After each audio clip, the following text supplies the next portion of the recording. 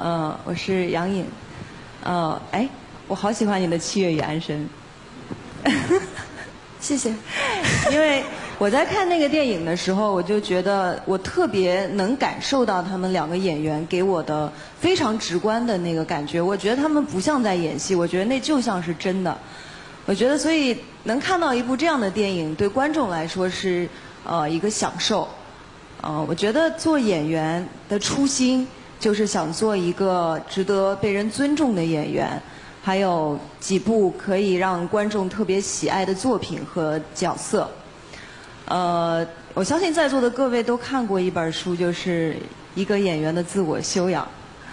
呃，但我看那本书的时候，我觉得其实里面最主要去讲表演的东西并不多，它只是讲了解放天性。那概括来说，也就是真听、真看、真感受。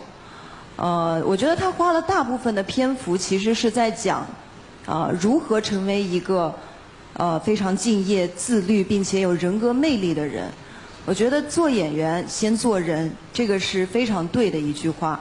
因为只有当你的人格魅力和你的思想境界到达一定的程度，你才能在你的真听、真看、真感受的过程中，带给观众一些不一样的，呃，感官上的一个一个一个理解和想法。呃，这是我觉得我现在对演员这个行业的理解，呃，并且希望可以做更多好的作品带给大家，谢谢。